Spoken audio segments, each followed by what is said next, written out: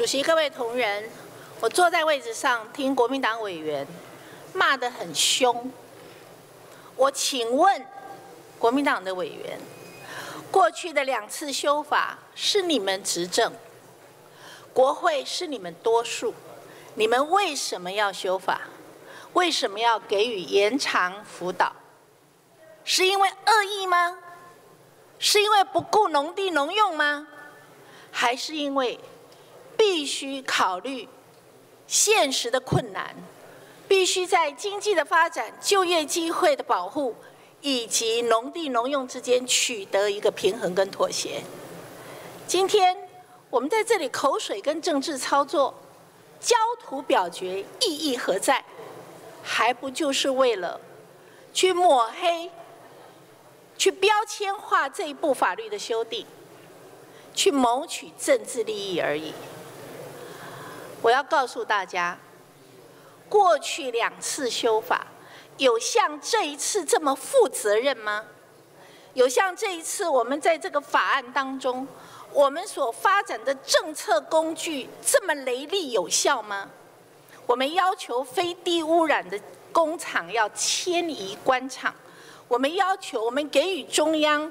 不接受辅导的业者，我们给他断水断电的工具；我们给予要求他在公安以及环安当中的种种的改善与处置；我们建立了检举的制度；我们也纳入了国民党的所谓的辅导汇报；我们也明定了落日条款。过去两次国民党执政时候的修法有这些内容吗？在这里骂得这么凶。良心何在？我跟各位报告，尤其是这一条，一个行政院真正要有效的汇报，如果他的召集人必须是行政院院长，这就像协商的时候陈朝明委员所说的，一年大概只能开一次会，顶多是半年一次会。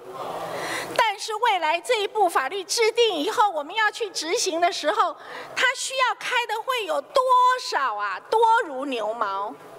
所以，我跟社会大众报告，国民党所提的制度，我们不但没有不采取，而且我们纳入了，只是我们增加了务实的实际需要的考量，我们用两制并行。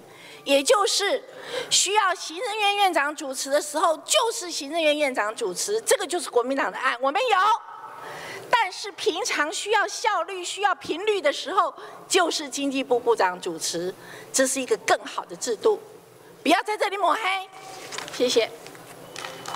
谢谢管委员，下一位请王委员玉敏。